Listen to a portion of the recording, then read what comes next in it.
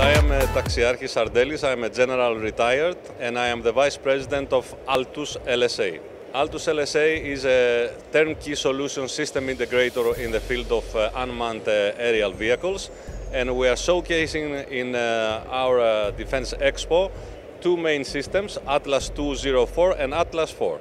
We showcase as well uh, something that is uh, in the final stages of design. It's called uh, Adam, which is a, a stealth with stealth, stealth, capabilities unmanned aerial system.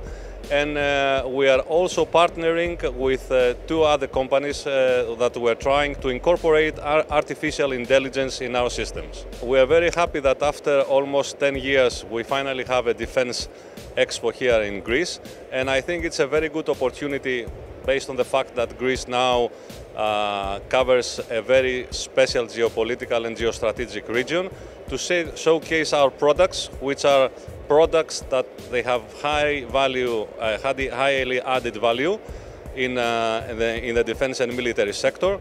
And what we uh, would like to showcase here is the reliability and the high capability of our products. Outside Greece, yes, we had already tenders in uh, Southeast Asia, and uh, recently we had uh, two tenders, one with OSCE in Ukraine. Our products are monitoring the green uh, zone.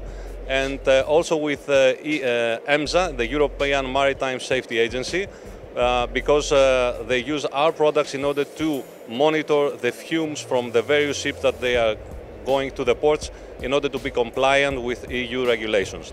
those are the two main uh, tenders that we're highlighting uh, at this point. Keep in mind Altus, which is a very uh, capable and highly reliable company.